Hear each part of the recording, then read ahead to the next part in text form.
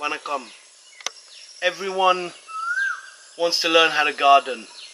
Many people are asking me about local food and can they get a basket, uh, vegetable uh, basket, fruits and vegetable basket.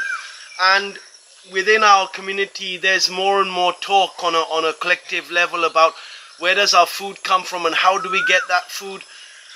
I think that within this discussion, there are questions that are missing. You know, people are saying, well, well why isn't that food available in our shops?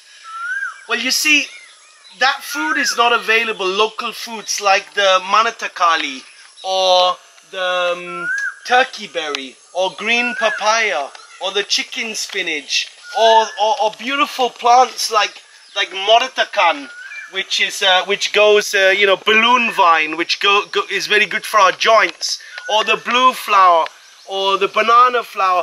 All these plants are all these crops these these foods they are simple foods. They are foods that that we see emerging from a relationship with the land. They're not foods we see from uh, you know, a system of growing food and getting it to a shop and getting a profit for it. I think what we have to do to start with is redefine the value of food for its nutritional value. Let's pull the plug on the economic value. Let's that let that take care of itself later. Let's start farmers farming for nutritional value of plants. Let's make that our primary value, nutritional value.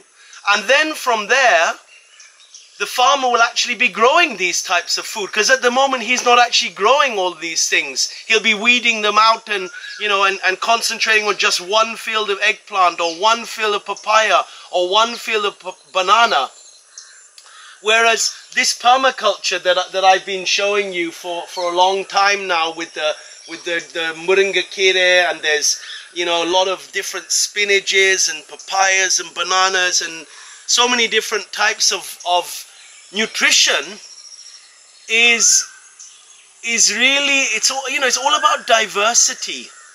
And so when people start saying but why don't we have these foods in our shops? you can be sure that the problem starts in the farmer's field. Then they're not available in the shelves because you know, that's not what's wanted, and thus they're not on our plates. So I think that really it's a reflection of our loss of our cultural nutritional heritage. It's a, and, and that's very much a loss of our relationship with Mother Nature, which is a reflection of this, this life that we've created, running after very, you know, ephemeral, you know, values, very, uh, very, very, small-minded values. So let's come back to nutrition as being the reason of farming.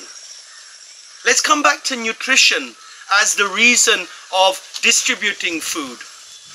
And let's come back to nutrition with, with what we're eating. And I think that in there lies our salvation. There, there lies in our redemption, our cultural nutritional redemption. Thank you very much for listening. Some more later.